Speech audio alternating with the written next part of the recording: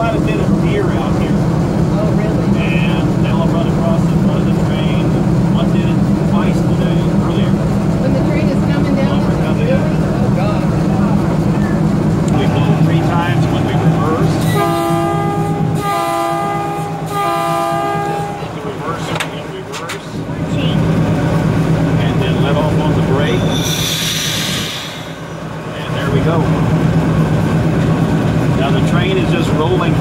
off. There's no power involved at all right now because we're on a slope.